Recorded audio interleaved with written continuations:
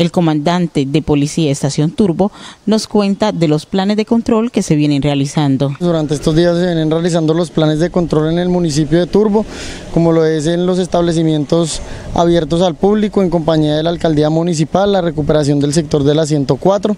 Eh, durante este fin de semana se realizaron unas capturas de relevancia como lo fue una por un porte ilegal de armas, un sujeto que se encontraba por el, el sector del Tancón.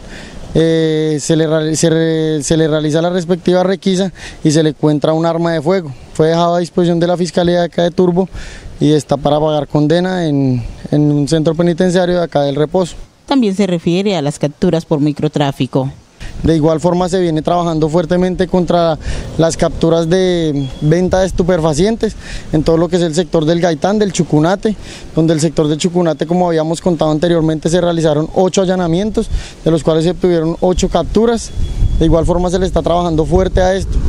Eh, se han venido realizando en esta semana, ya se han reportado cinco capturas por estupefacientes, por diferentes cantidades de marihuana, perico y base de coca.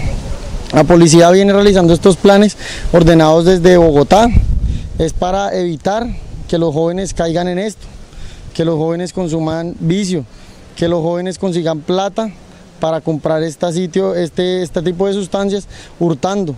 De igual forma en el sector del comercio se han realizado planes con, todos los representantes de las tiendas, de, de la venta de, de esos CDs, de que eso no se puede vender. ¿Por qué? Porque pues digámoslo que como tal está tipificado como un delito, pero más el que los, el que los hace como tal, no el que los que los tiene ahí como tal.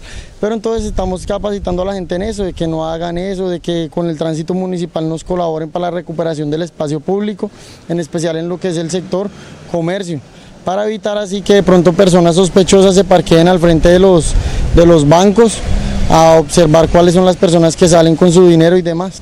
Nosotros realizamos requisas, esa es, nuestra función, solicitar antecedentes, realizar requisas, realizar puestos de observación en todas las jurisdicciones, en especial en los puntos críticos, como es a la salida del municipio y a la entrada de nuestro municipio, para nosotros verificar quién ingresa y quién sale. Así de igual forma les solicitamos los antecedentes, requisamos, verificamos los vehículos en busca de pronto de un arma de fuego, de, una, de pronto de una captura que tengan ellos por un registro judicial.